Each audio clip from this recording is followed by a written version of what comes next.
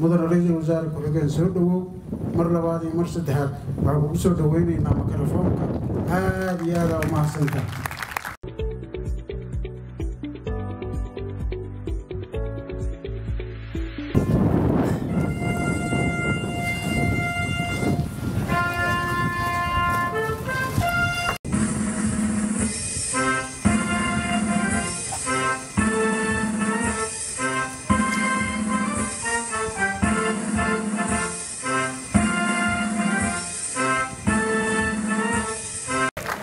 waa mahadsantihiin bismi illaahi araxmaan araxiim wasalaatu wasalaamu calaa rasuuliillaah sayidina moxamed wacalaa aalihi wasaxbihi wasalam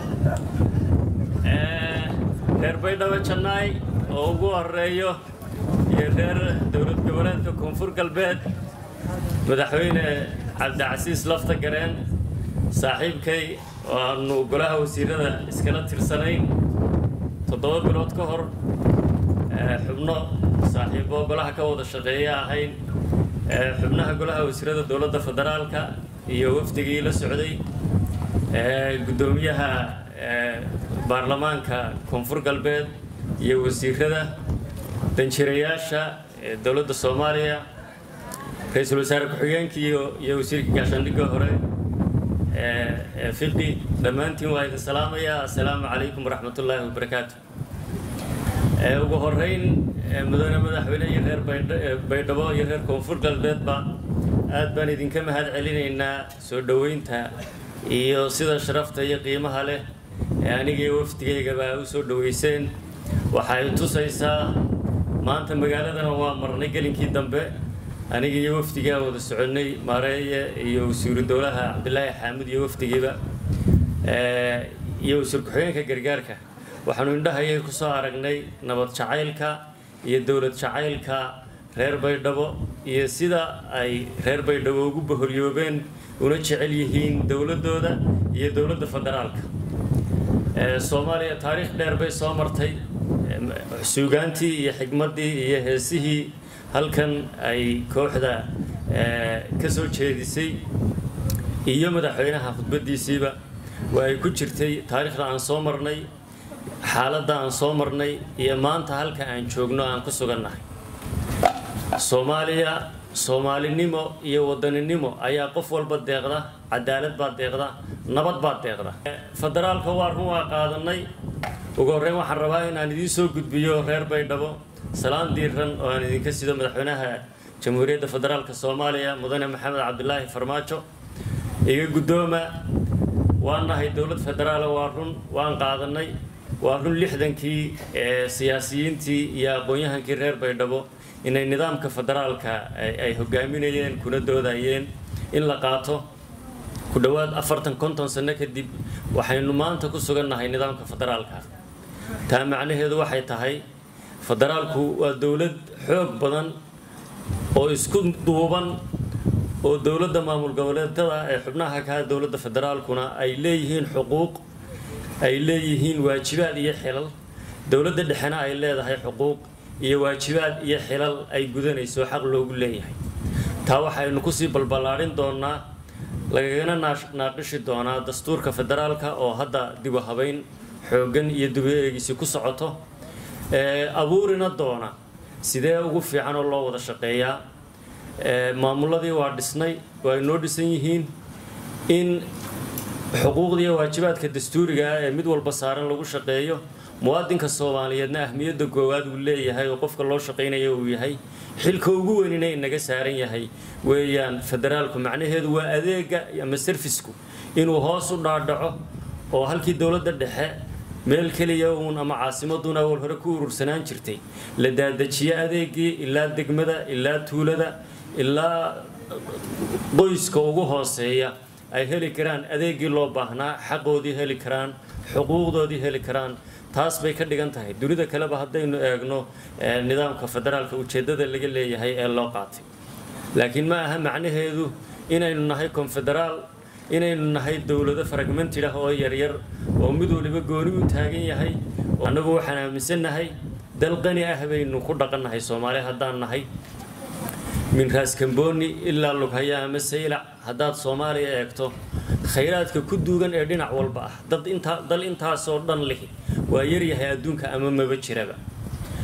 Saddexdan gobol oo keliya haddaad u timaadid maanta qadadii cashadii aynu yeelannay waxa aynu cunnay waxa ahaayeen wax dalka gudihiisa uun ka soo baxay. Hilibkii oo nooc walba ah geelii adhigii digaaggii kalluunkii caanihii geela liintii aynu isbarmuutadaynu cabnay. Khudaartii hadday cagaar tahay soortii. Markaa waddan local wax soo saarkiisii gudaha uun ku nool.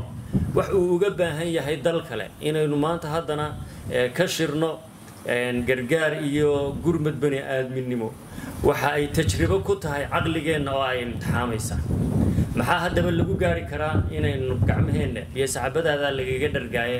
Isku filnaanno waa kow in aynu xoojinno dowladnimada ayidnana waxaana muuqata run ahaantii jubbaland iyo kismaayo waxaanu u tagnay bambixii golaha wasiirada mar dambe aniga gobolka gado ayaan tegey ra'iisul wasaaraha waa kii tegey madaxweynaha waa kii tegey.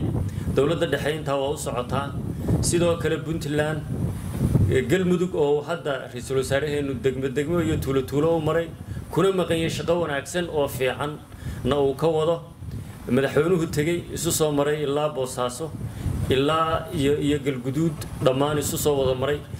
Waxaa arkaysaan koonfur galbeed oo yimid madaxweynuhu ra'iisul wasaaruhu yimid shirkii aynu ku qabsannay kal hore madaxda qaranka.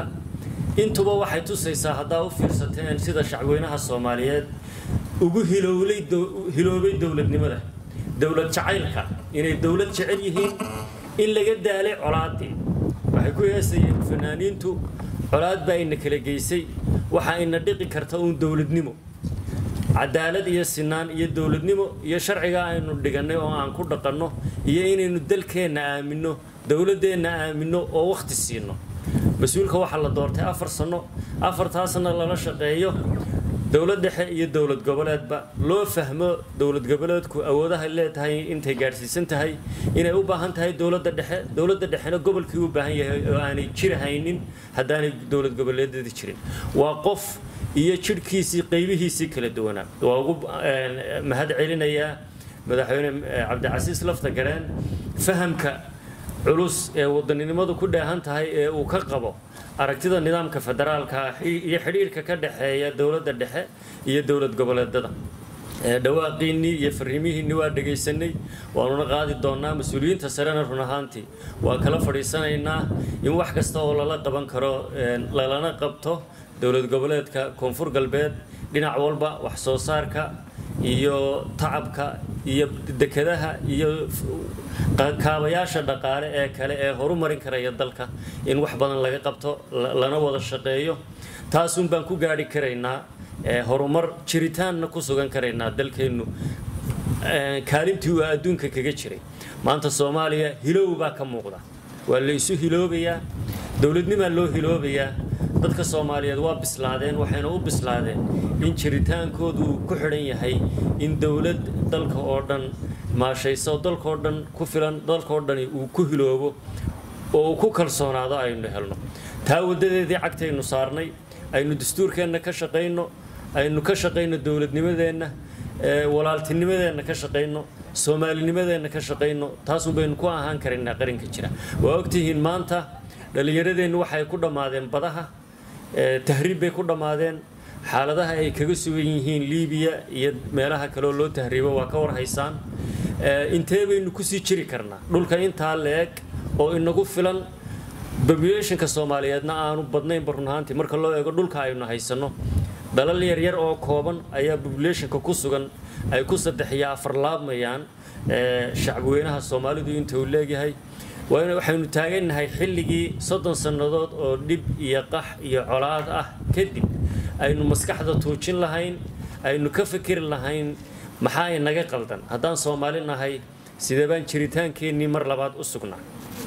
Waa ku raacsanaya madaxweynaha in xasilooni siyaasadeed la gaadhaa inay tahay ta keliya ee isku xidhi karta in uu qarankii dib isu taago waana sababta madaxweynaha iyo ra'iisul wasaaruhuba mar walba ay xoogga u saaraan in xidhiidh dhow uu ka dhexeeyo oo walaaltinimo ahi dowladda dhexe iyo maamul goboleedada taasina meel fiican run ahaantii ay marayso.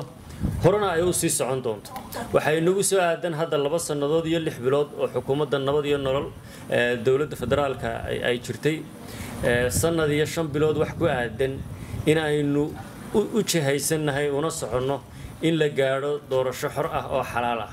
Waxaa ogtihiin in xukuumadda federaalka soomaaliya dhowaan ay ansixisay sharciga doorashooyinka oo ah kii ugu fiicnaa ee uu dal lahaan lahaa kii ugu fiicnaa ee waddan federaal ah ee dibuhabayn dastuur ku waajahan doonaya konton sannadood kadib sagaal iyo lixdankiiba ay noogu dambaysay doorasho in muwaadinka soomaaliyeed si xor ah oo xalaal ah oo nabad ah lagu gaadho doorasho hal qof iyo hal cod ah oo shacbweynaha soomaaliyeed madaxweynahooda markii ugu horreysay ay si toos ah u soo doortaan.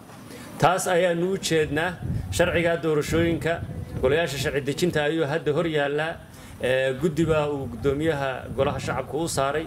Waa soo darsi doonaan laba bilood kadib golaha shacabka ka doodi doona.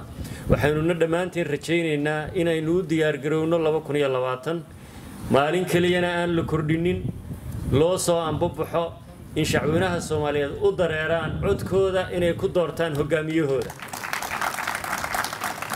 Gacantooda inay ku doortaan xildhibaankii matali lahaa oo cod shacweyne cod dadweyne ku soo baxay u hoggaansan oo accountable ah shacweynihii soo doortay. Uu kula xisaabtamayaan maxaad u qabatay shuruuc horumarineed oo dalka iyo gobolka ka turjumaysa ma meel marisay ay u yeedhi karaan la xisaabtami karaan warbixin ku soo celin karo waxa uu qabtay uga warrami karo. Golaha shacabka iyo shacweynaha soomaaliyeedna madaxweynahooda la xisaabtamayaan xukuumaddoodana la xisaabtamayaan haddii maanta aynu ka hadlayno doorasho toos ah hal qof iyo hal cod ah taa macnaheedu waxay tahay oo ah lixdan guurada maalmihii xorriyadda soomaaliyeed. Waxaynu u dabaaldegi doonnaa laba kaclayntii iyo fufkii qaranka soomaaliyeed fufkii xorriyaddii lixdankii ee hilowga iyo suugaanta iyo daljacaylka iyo wadaniyadda ku salaysnayd taas baa dhammaanteen ballan inoo ah. Waxaynu arki doonnaa insha allahu dowladda dhexe iyo dowlad goboleedada shacweynaha soomaaliyeed iyo muwaadiniinta soomaaliyeed oo gacmaha iswada haysta.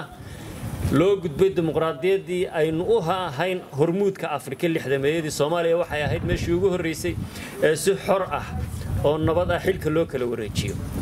Haddana taas waayo aragnimo inagu filan allaa labadii kun ayaa mar kastoo ay gaadho. Madaxweyneyaashu si nabad ah xilka loola kala wareegaa